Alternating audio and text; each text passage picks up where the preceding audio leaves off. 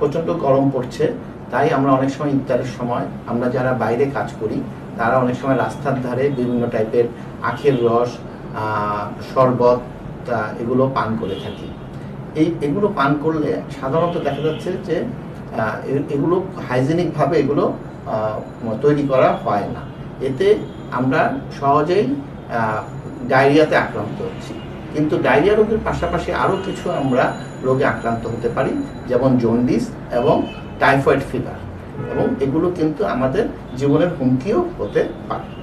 সেই ক্ষেত্রে অবশ্যই আমাদেরকে ওই সমস্ত খাবার পরিহার করা উচিত। Limited.